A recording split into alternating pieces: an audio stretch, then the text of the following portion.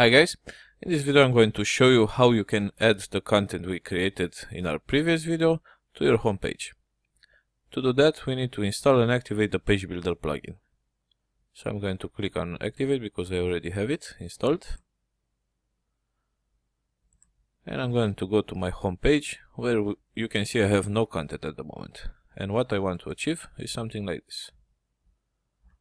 So let's go back, go to edit page go to page builder, add a new row, set it to one column. Of course you can do whatever you need here. So insert this row, then go ahead and add a widget. First I'm going to add a service widget.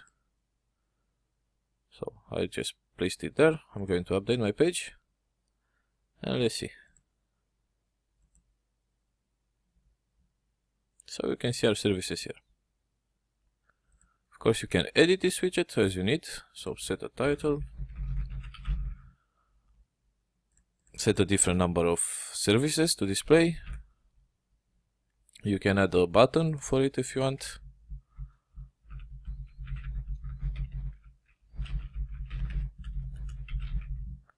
Some text. You can leave it empty if you if you want this text to show up. You can uh, select to show services services only from one category if you want. And you can choose uh, to display in two columns instead of three, or even display the full content or the excerpt. So, I'm going to update again, refresh here, and you can see the difference.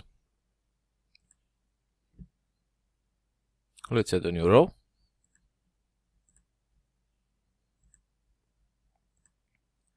And let's add the employees widget.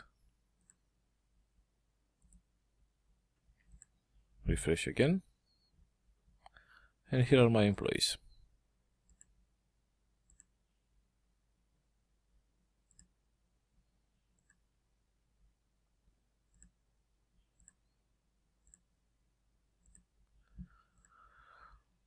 Uh, some testimonials. I'm just going to drag and place the widget here.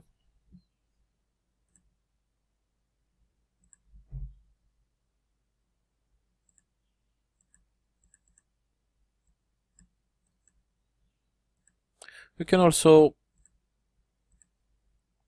add uh, other widgets as well.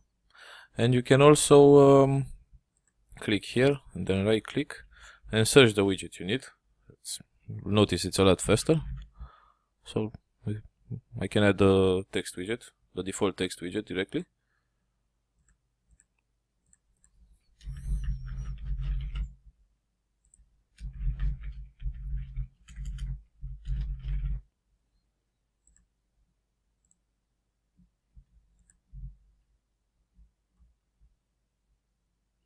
Here it is. So these are the basics.